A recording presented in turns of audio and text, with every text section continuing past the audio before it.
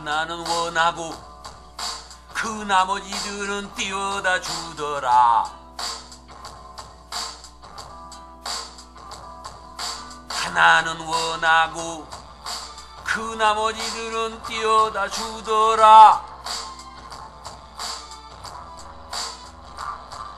하나는 원하고 그 나머지들은 띄워다 주더라. 하나는 원하고 그 나머지들은 띄워다 주더라. 하나는 원하고 그 나머지들은 띄워다 주더라. 하나는 원하고 그 나머지들은 띄워다 주더라. 나는 원하고 그 나머지들은 띄워다 주더라.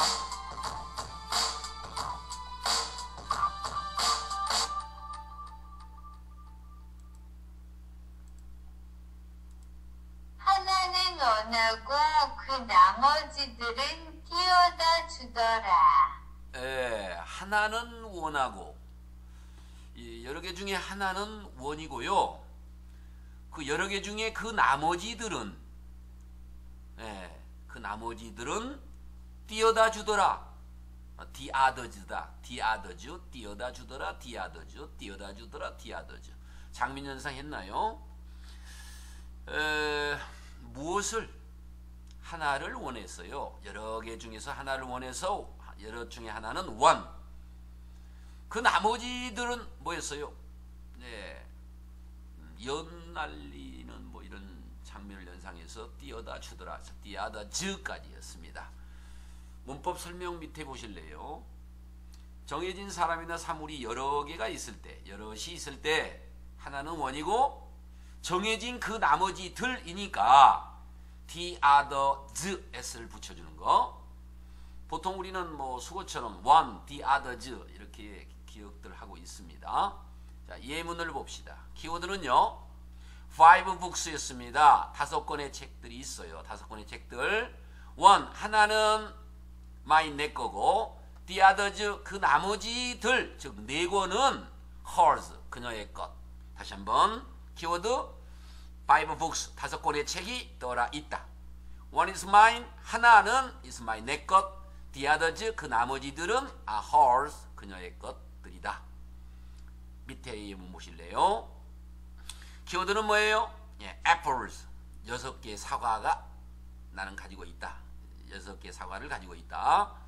one 하나는 red 빨간색, the others 그 나머지들 음, 나머지 그러니까 다섯 개를 말하죠. 그 나머지들은 green 녹색이다. 즉 파랗다.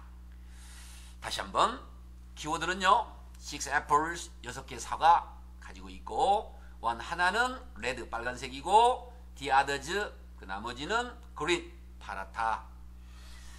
자 다시 한번 얘기하지만 정해져 있는 그 사람이나 사물이 여러 개가 있을 때 그 중에 하나는 원이고요. 그 정해져 있는 그 나머지들은 이니까 others를 쓴다. 하나는 원하고 그 나머지들은 띄워다 주더라. 예, 전체 이미저리와 연상하십시오. 여럿 중에 하나는 원이다. 하나는 원하고 그 나머지들은 정해져 있는 그 나머지들이니까 the others 그 띄어다 줘 연상하시면서 우리는 원 the others 형태를 공부했습니다.